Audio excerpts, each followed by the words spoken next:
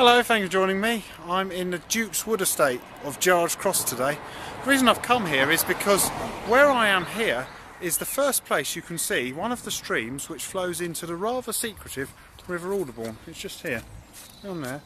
Doesn't look like much, but that stream which is flowing through someone's garden goes off under the road, under that house, and down there and it joins the River Alderbourne in the village of Fulmer. So what we're going to do, we're going to head on down there in my car and um, we're going to follow the Alderbourne and see where it takes us because it's a very secretive river. There's very few places the public can actually see it. So we'll leave Duke's Wood um, estate behind, jump in my Lada and um, we're going to go down to Fulmer. So I've parked the Lada down in Fulmer, just walked up the road back towards Gerrards Cross, lined with daffodils. Now, we saw the stream which flows to, towards the Alderbourne in Duke's Wood. Beyond Duke's Wood, it goes under the M40, and then our next sighting of the stream is across this field. As you can see, there's a bit of a lake. It's shown on the map as fish ponds. Now, the M40 is just there, you can just see the odd lorry and a few vehicles. There's more fish ponds to the north of the M40, but I couldn't really see them um, well enough to be worth showing them. So there's more fish ponds up there, which are obviously man-made. There's probably an interesting culvert which takes the water under the motorway. So it goes down there and then it joins the main course of the Alderbourne. So what I'm going to do now, I'm going to walk back down into Fulmer and um, we'll go and find the main course of the Alderbourne. I've just come down the hill now back in towards the village of Fulmer. Behind this wall here is Fulmer Place. It's um, quite a large, quite attractive house. I believe it's now apartments. Um, it's private, so I won't be able to take you inside. But I believe on the other side that hedge, the river uh, possibly forms like um, an ornamental feature of the gardens. Now here is the village of Fulmer. So what we're going to do, I'm going to show you the centre of the village of Fulmer. It's a very small but very attractive village. I'll show you the official course of the River Alderbourne because as far as I'm aware what we've been looking at so far is just the stream, it's not the actual Alderbourne. Um, so let's have a look. So there's the, the little church, we'll, we'll go and have a quick look at that as well. So it's, um, I say it's just a pleasant village, not far from Gerrards Cross, Let's get across the road.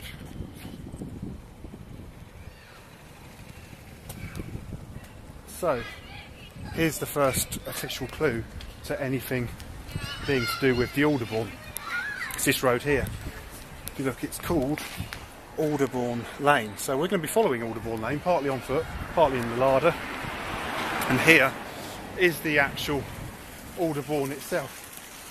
Right down there in a cutting and then it goes into a culvert. Well, I tell you, it's not cutting. Um, you know what I mean, no? There, I'll let you see it through the railings. So one thing I'm going to have to do, once we've had a look at the village, I'm going to have to put wellies on and I'm going to go down into the cutting, or sorry, I keep saying cutting, I know it's not cutting, it's me thinking in railway terms, um, into um, the river and through the culvert. It must come out over there somewhere.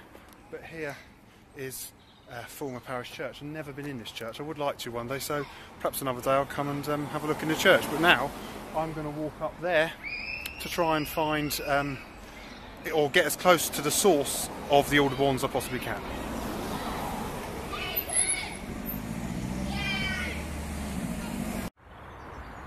So this is about as close as I can get to the source of the main branch of the River Alderbourne, somewhere in those fields. They're all a bit flooded. You can just see the M40 up there. There's a little farm there. So it officially bubbles up in there and it seems to have flooded the fields a bit and then the river flows off down towards Fulmer. We're about a quarter of a mile away now from Fulmer on this public footpath. That way, if you went there, you could go back to Gerrards Cross or Stoke Poges and then this way is the way I've just come along to Fulmer. So I'm just going to show you up here. There's one bit you can see the river flowing across the fields. It then goes behind the houses and then somewhere it must come to that culvert that I showed you. So when I showed you the culvert in Fulmer, that was the downstream end of the culvert. Um, slight mystery as to where the upstream end is, but I'm determined to find it. So um, what I'm going to probably do is when I get back, I'm going to replace my trainers when I get back to the car for wellies. Um, I'm going to get in the river and I'm going to see if I can actually get through the culvert. I thought if I can't find the end of the culvert on land, I'll just go in the culvert and walk through it and see if I can find the other end of it. So here we come to the end of the footpath. So yeah, oh yeah, Hedgerley um, that way and Fulmer Village that way. So I'm going to follow the daffodil lined uh, lane back to Fulmer. Now this field, where we have a few cattle, you can just see where well, it's a bit flooded, but then the river flows off just down there. That's the course of the river, and then the house you can see that's the beginning of Fulmer Village. So I'm going to follow this daffodil line lane back to Fulmer Village, and I'm going to go and put my wellies on and get in the river.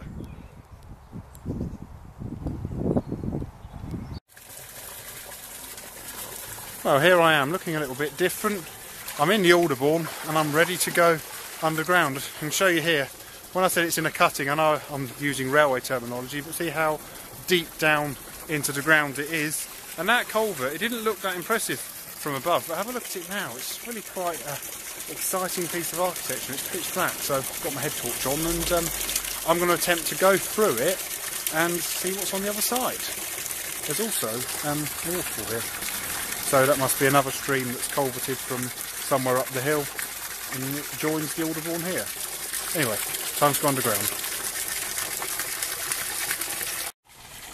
So here I am. I am just inside the culvert. Now I was hoping to take all the way through, but unfortunately there, there, there's very deep silt, so I can't. It's going to go above my wellies. But I'll let you have a look through like that with my torch. Now what, if you look to there, I can see this was a road bridge as far as where I'm shining the torch. And then there's a slight kink. I can just about, you probably can't, um, yeah there, you can just see daylight. So what I think they've done is there was an area on the other side, I'll show you when we get back up to ground level on the village green, a bit like this. What they've done, they've covered it over and made it into a culvert. So yeah, I really did hope to take you through this. I'm sorry I couldn't do that, but what I'll show you with this stick here, I'll show you how deep the silt is. So if I put the stick into the silt, just up here a bit, it goes, see what I mean, it goes down quite a way.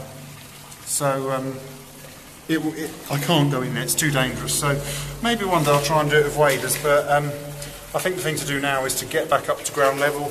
I'll show it to you from um, street level now, I've worked out where the other end of the culvert is, and then um, we'll carry on further upstream and see what we can find. So here we are, back up at ground level. That's the culvert we were down in. So as I was saying, I could see it used to be a bridge and they've um, filled the second half in to make a longer culvert. So if we have a look here, you can see the parapet there where it says Alderbourne Lane. I reckon there was probably another parapet about here somewhere. So there's just been a simple bridge and then where there was a slight kink, here where this line of benches are, the river would have been out for you to see, except it would have been down in um, quite a deep cutting as um, I pointed out as it is on that side. So where I'm walking now, I'm technically walking upstream above the river. So this is what I was hoping to do down in the culvert, but as I said, it was just too silty. Um, it would have gone over my wellies and I could have got stuck in a rather dangerous position. So I thought it was best to be safe and come out. But I didn't really want to go through it. Anyway, I have found the other end. It's just here. Not that exciting really, but there we have the river and um, yeah, so I was going to go there. I probably wouldn't have been able to have climbed up. I'd have probably just um, been able to have. I'd have got someone to film me, and I'd have waved me like, "Hello, I'm down down in the culvert." So anyway, what I'm going to do now, I'm going to go back to my Lada, swap the um, wellies back for shoes, and we're going to drive up the Alderbourne um, to another place I know where you we should see it quite nicely. So we're going to leave the beautiful little village of Fulmer now and um, follow the Alderbourne upstream in the direction of the River Colne. So this is just a little bit down Alderbourne Lane. The river is still down down there in its deep cutting. Um, I'm going to have to go that way. So there's the Lada. I'm going to jump in the Lada and um, we're going to drive on up Alderbourne Lane and see what more of the Alderbourne we can find.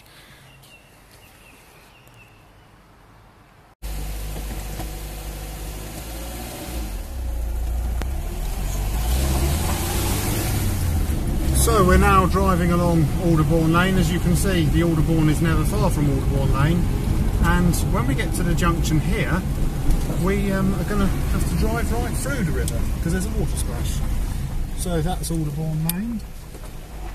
And here, as you can see the car in front, that's the water splash. So we're going to drive through the Alderbourne and then I'm going to have to turn round and um, come back. So yeah, this is always exciting when you get to it. So we're now going to, well I'm going to turn the car around then we're going to carry on towards Iver Heath.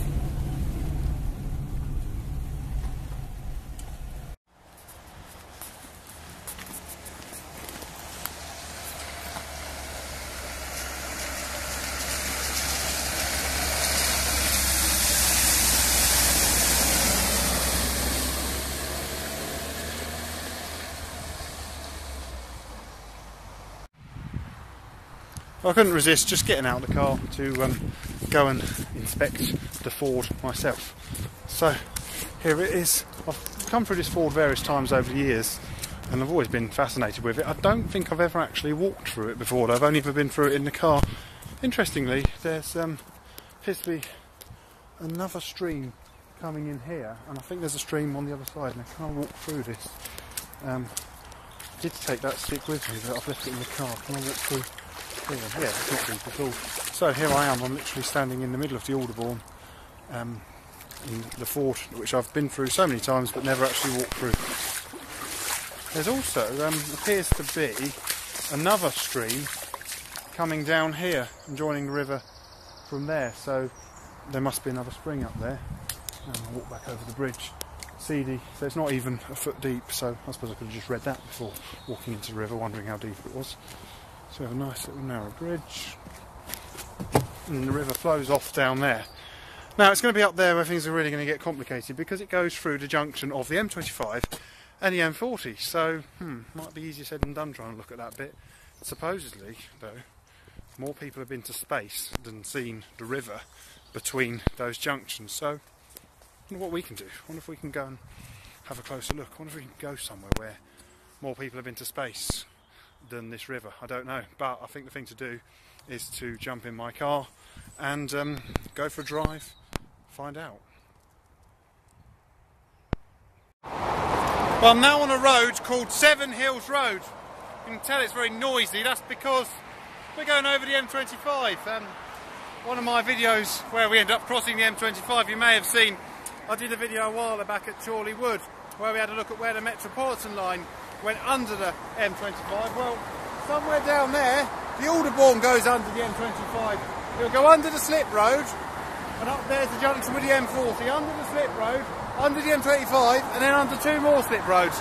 So my plan is to see if we can get anywhere close. So if you look ahead up there, just after this bridge, there's a public footpath.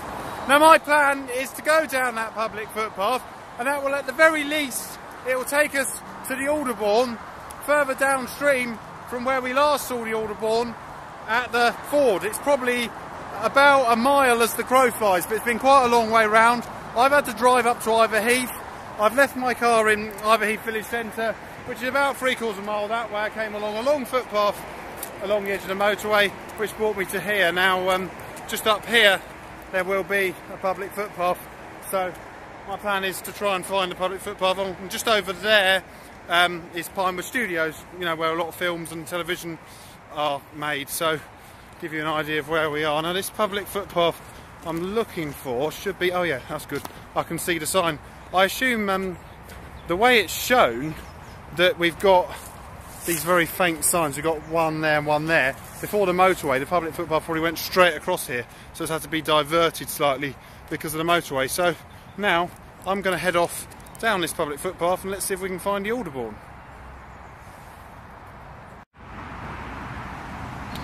I'm just making friends with the locals um, on my walk. We are now heading down towards the valley of the Alderbourne. So we come to here. The Alderbourne must be, there's a pylon in the distance which the camera I don't think is picking it out. But the river Alderbourne is down at the bottom of this field. So it's when I get down there, the question is, what can we see? Um, The river's obviously come through this motorway junction, so I'm going to try and get a closer look at that. So let's go down and find the Alderbourne. So I'm now at the bottom of the field where we met those friendly horses at the top. Just there's a couple of slip roads between the M25 and the M40. Um, we come down here, and here is the river again. We're reunited with the river. As I've said, this is a river where you know there's very few places that the public can actually see it. And we did the River Misbourne. Um, most we could pretty much follow the whole river. This one we just got to cross it on the few places you can. There's another stream there flowing along into the river. So I'm going to cross the river here on this bridge. Um, and then we're going to have a look and see what happens where it comes under the road. So the footpath continues that way towards those woods. The river goes away from public viewing in that direction. I'm going to follow it up to here and um, just see what I can see really. I really don't know what to expect. It could be a great big culvert that I could walk through. It might be just a small tube. I don't know. Um, oh, but I can see. So I can see it now. I can see straight through it. So, well, this is where it's going to get interesting. That's the culvert. Now, certainly big enough for me to stand up in and walk through. The question is, if it's too deep, I'm not going to be able to go through it. But if it is too deep, what I might do, I might just have to go and invest in some waders and come back another day. So I'm just going to make my way around those bushes and try and get a closer look.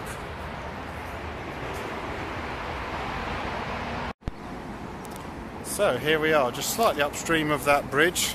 Here is the culvert under the two slip roads. Now, I've just attempted to try and walk through it.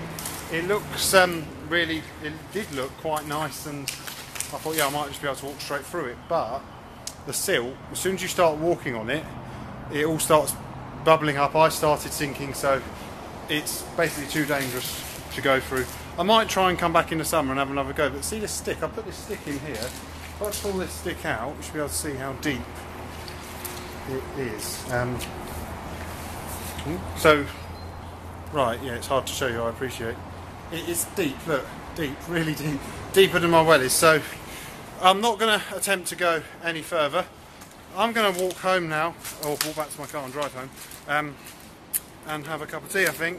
What I think I'll do though, another day, we'll um, find out what the, re what the rest of the river has in store. I don't think it's going to be anything quite as exciting as this, and like I said, perhaps if the river gets to a very low flow or even dries up, I don't really want to see the river dried up. If it does dry up um, on a very hot day in the summer, perhaps we'll come back and have another go at trying to go through these culverts because I really am intrigued to see what's on the other side. So I hope you enjoyed this little video from the River Alderbourne, one of the lesser known rivers of Buckinghamshire. Thank you very much for watching. Please do feel free to like, subscribe and comment.